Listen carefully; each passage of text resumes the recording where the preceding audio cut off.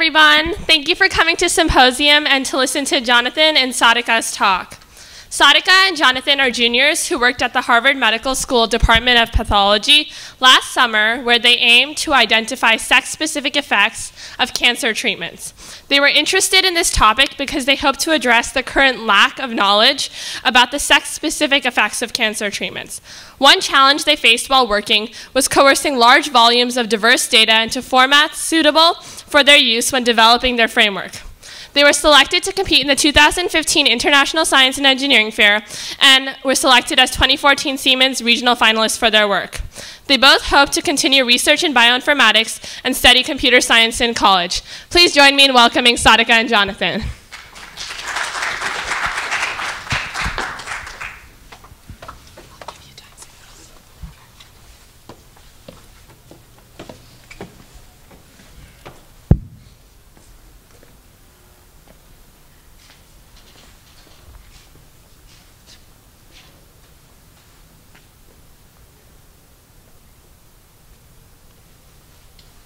So good morning, everybody.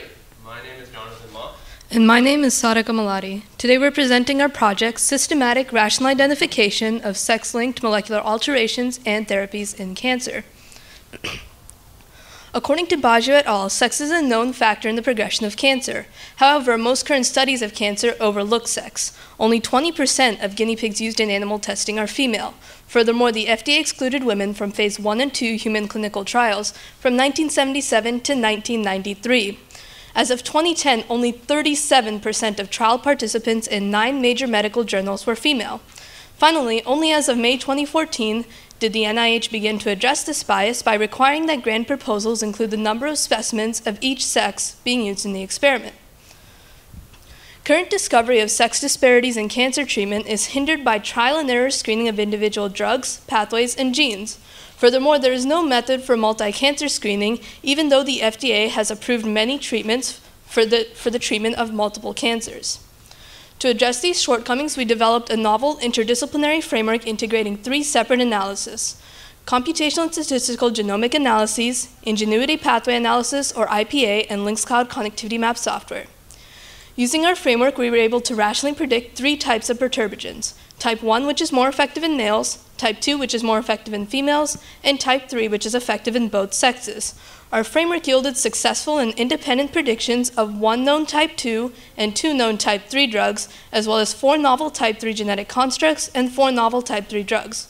We'll now go over each step in detail. So for our genomic analyses, we considered 17 cancers, each with, uh, each with at least 10 patients in each set. However, our IPA and LINCS cloud analyses require comparisons of tumor and normal gene expression. Thus, for those cancers, with those analyses, we only considered seven cancers, each with at least 10 additional non-neoplastic patients of each sex. Thus, each of those analyses had, uh, had at least 40 patients, roughly the size of a phase 2 clinical trial. We analyzed genomics data in three categories, gene expression, DNA copy number, and DNA methylation. All genomics data came from the Cancer Genome Atlas, or TCGA. We performed rank sum test with respect to sex, using cancer-specific p-values of genomic sex disparities. Then we performed the Benjamin-Hochberg correction, which adjusts for multiple significance testing, using Benjamin-Hochberg or BH values. And finally, to quantify the magnitude of genomic sex disparities, we calculated median fold changes in all three data categories. This graph summarizes our cancer-specific results. The number of genes with significantly sex disparity expression in each cancer ranged from 26 in kidney chromophobe to over 1,600 in kidney renal clear cell carcinoma. Thus, sex disparity gene expression is indeed widely prevalent in all cancers considered. Recall that one of our goals was to extend our analyses across multiple cancers. To do this, we used Fisher's method, which aggregated our cancer-specific p-values into pan-cancer p-values. In addition, we calculated pan-cancer fold changes across all 17 cancers considered. We found an overlap of 13 genes to have significant sex disparities in DNA copy number, DNA methylation, and RNA expression. Of those 13 genes, the three shown here are most relevant to cancer and its treatment. Most notably, DDX43 exhibits expression levels twice as high in males as in females. Furthermore, we see this trend in eight different cancers, suggesting the pan-cancer nature of both our analyses and our results. DDX43 overexpression has been shown to induce resistance to MEK inhibitors. MEK inhibitors are currently in trial for the treatment of thyroid carcinoma. Thus, we predict that females with lower DDX43 expression will be more sensitive to such treatment than males. Now, recall that we performed comparisons of tumor and normal gene expression. So for IPA and LINCS cloud analyses, we required sensitivity and resistance signatures. However, existing gene expression profile databases from which these signatures might be derived, such as the Cancer Genome Project, or CGP, contain sex bias. For instance, CGP contains 12 male, but only 4 female kidney cell lines, potentially underrepresenting the female population. So instead of using CGP, we used our own genomic results to, to define our sensitivity and resistance signatures. Now from prior literature, genes overexpressed in tumors relative to normals increase tumor cell proliferation and drug resistance. Conversely, genes overexpressed in normals relative to tumors decrease tumor cell resistance and increase drug sensitivity. Thus, we define our sensitivity signatures as genes significantly overexpressed in normals relative to tumors, and our resistance signatures as genes significantly overexpressed in tumors relative to normals. And since these signatures were derived from the Cancer Genome Atlas, with over 2,300 male and 1,500 female patients, underrepresentation of one sex is far less likely than in CGP. Now, just as we computed pan-cancer genomic sex disparities, we also computed pan-cancer sensitivity and resistance signatures. We aggregated p-values into pan-cancer p-values using Fisher's method. And we computed pan-cancer fold changes of median gene expression. These genomic measurements, we then computed pan-cancer sensitivity and resistance signatures, which we used in our analyses. Using cancer-specific male and female resistance signatures, we then applied ingenuity pathway analysis, or IPA, to discover pathways significantly associated with neoplastic expression and tumor resistance. IPA leverages the ingenuity knowledge base, which contains over 8.5 million findings from 4,000 different journals. From the most significantly associated pathways, we then manually screen using literature to find the ones most relevant to cancer and its treatment. Notably, we found that the liver X receptor LXR and the retinoid X receptor RXR activation pathways were more significantly associated with male tumors, but not at all with female tumors in liver hepatocellular carcinoma. Indeed, these two, these two receptors have been identified as therapeutic targets in the treatment of cancer. Thus, we predict that males would be more sensitive to treatment targeting these receptors than females. Finally, we used LINCS connectivity analysis to rationally predict the perturbations with sex-specific effects. Now, link LINCS draws on the LINCS L1000 dataset, which contains gene expression perturbation profiles of 20,000 small molecule compounds and 22,000 genetic constructs across 77 cellular contexts, including 59 cancer cell lines.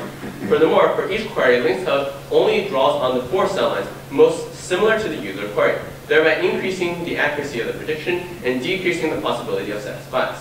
Finally, LINCS uses the Kolmogorov-Smirnov test to calculate the connectivity score for each perturbagen, which quantifies the degree of similarity between the gene expression perturbation profile of that perturbagen and the user query. We queried LINCS for perturbagens which could upregulate our sensitivity signatures and downregulate our resistance signatures, obtaining uh, scores for thousands of perturbagens in each sex. Now, a positive connectivity score indicates sensitivity, whereas a negative connectivity score indicates resistance. Thus, type 1 perturbagens have positive male and negative female connectivity scores. Type 2 perturbagens have negative male and positive female connectivity scores. And type 3 perturbagens have positive scores in both sexes. We queried LINCS Cloud for, we made five predicted type 1 and five predicted type 2 perturbagens with maximum connectivity score differences, as well as five predicted type 3 perturbagens with maximum connectivity score sums. From the returned perturbagens, we then looked for literature corroborating our findings to validate our framework. In liver hepatocellular carcinoma, sorafenib is FDA approved for treatment. We calculated a male connectivity score of 92 and a female connectivity score of 89. Thus, we predict that sorafenib is a type 3 perturbagen, meaning it is effective in both sexes.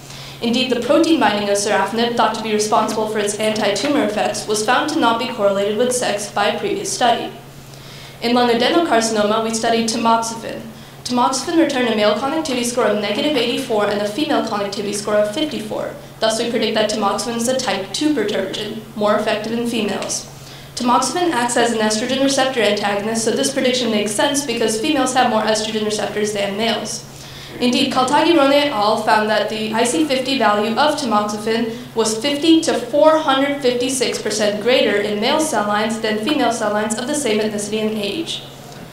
Finally, everolimus is FDA approved for the treatment of kidney renal clear cell carcinoma. We calculated a male connectivity score of 71 and a female connectivity score of 70, so we predicted everolimus as a type 3 perturbation. Indeed, sex was not found to be a prognostic factor of first survival during everolimus treatment of this cancer. We, uh, we also made several novel predictions of drug efficacy. For instance, in liver hepatocellular carcinoma, we predicted that etoposide and camptothecin are both type 3 inhibitors. Now, these drugs are both DNA topoisomerase inhibitors, known to completely inhibit tumor growth, though sex-specific effects have not yet been verified. Thus, our prediction is logical. Furthermore, in our pan-cancer analyses, we predicted that CDK knockdown, CDKN overexpression, and purvalanols are all type 3.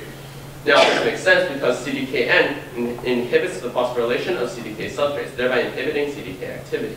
Furthermore, CDK is known to be deregulated in cancers, so it is logical that CDKN overexpression is included. Finally, purvalanols are known to be inhibitors of CDK activity, so their inclusion is logical as well. Thus, in conclusion, we identified sex disparities in the genomics, pathways, and treatments of tumors, and we created a novel interdisciplinary framework in order to do so. One drawback of this approach is the lack of a clear significance threshold for LINCS cloud meta-analysis. The current threshold is 90. Some, while no predictions above this threshold were incorrect, some predictions below this threshold, such as, such as tamoxifen, were accurate, while others, such as axitinib, were not. Thus, the threshold is specific but not sufficiently sensitive and could be improved with future work. In the future, we will also like to validate our, our predictions using live tissue experiments, as well as generalize our approach to include comparisons of drug efficacy across other demographics, such as age and ethnicity, thereby obtaining a more personalized cancer treatment. So we would like to thank our mentor, Dr. Andrew Beck. We would also like to thank Ms. Anita Chetty, Mr. Chris Spenner, and Mr. Mike Kostaki and the rest of the Harker faculty for supporting our research. And finally, we thank you, the audience, for your time. And here are our selected references.